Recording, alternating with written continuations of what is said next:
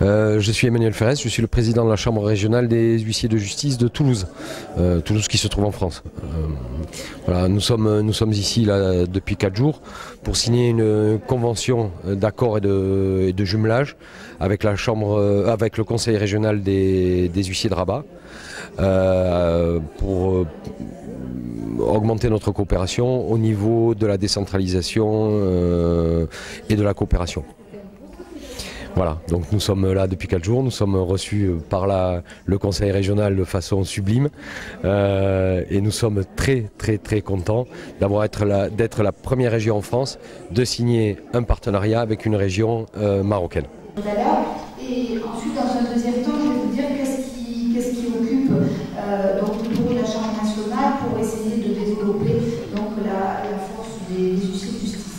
Donc, euh, en ce qui concerne la formation, en premier lieu, euh, on peut diviser la formation en quatre, en quatre parties. Euh, tout d'abord, la formation initiale, qui va être profondément modifiée à compter de la rentrée 2019. Les huissiers de justice ont créé donc un institut, institut de formation des huissiers de justice, dans lequel les jeunes confrères vont rentrer pour préparer donc, leur examen professionnel après une maîtrise en droit obligatoirement à niveau Master 1. La plupart d'entre eux ont un Master 2. Pendant deux ans, ils vont suivre donc, les cours de cet institut euh, avec donc, euh, une présence obligatoire euh, en stage pendant deux années. Je donnerai la parole, s'il veut bien, à mon confrère Jean-Jacques Debeau, puisqu'il travaille ici, au sein même de cet institut actuellement, sur la formation des huissiers de justice marocains. Et je ne vous cache pas que nous avons euh, essayé euh, de prendre du beau chez vous et d'essayer d'amener ce que nous pensons bien. Donc on est vraiment en interaction euh, sur, ce, sur ce sujet. Au terme de ces deux années de formation, donc un examen.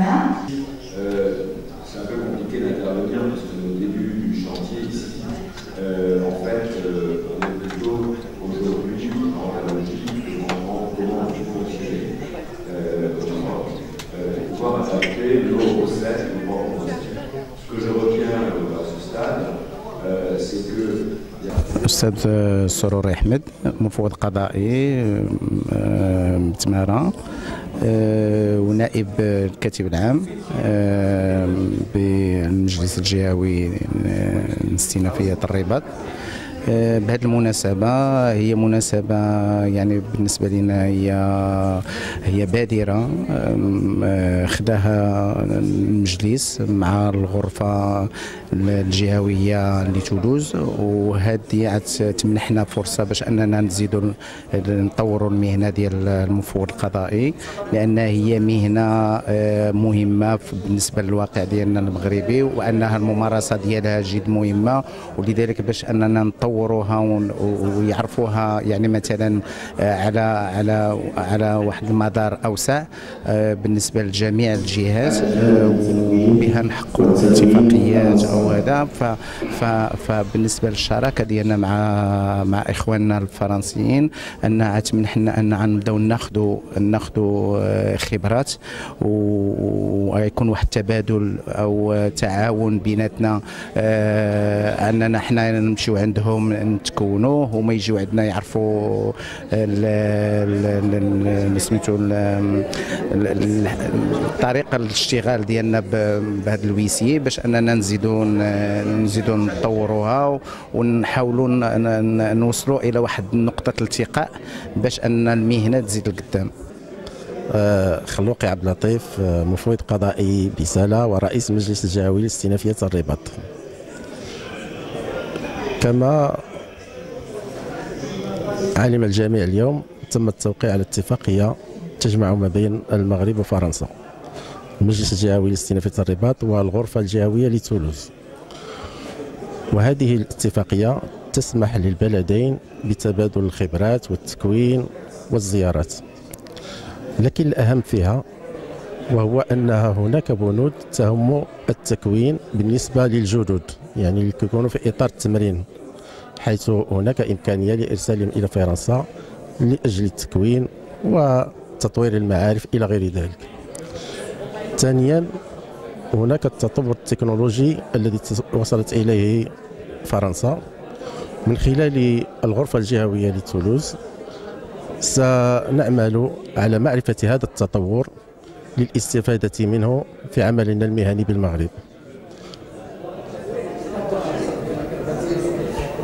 مع الأسف المغرب المفوض القضائي بالمغرب لا زال لا يهتم بهذا الجانب من التكوين التكنولوجي والمعرفي. والآن نحن أخذنا على عاتقنا هذا هذه المسؤولية لكي نعمل سويا على تطوير المهنة ببلدنا. وهذا ليس بصعب لأنه نحن رجال التحدي. والمرأة هي مرأة التحدي. لدينا مفوضات قضائيات ما شاء الله يعني ولجوا لهذه المهنة ونجحوا فيها وحققوا آه، نتائج باهرة. إذا آه، لن يكون هناك شيء صعب إذا كانت هناك المواكبة وكان هناك آه، تتبع لهؤلاء المفوضين القضائيين. إن شاء الله ما يكون غير خير والمستقبل كما قلت في الكلمة الختامية على أنه للمفوض القضائي.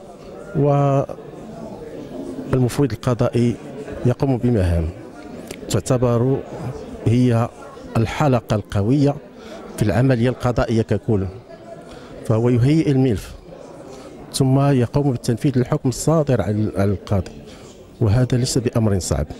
إذا علينا أن نطور الجانب العملي المفوض القضائي تكنولوجيا رقميا إلى غير ذلك.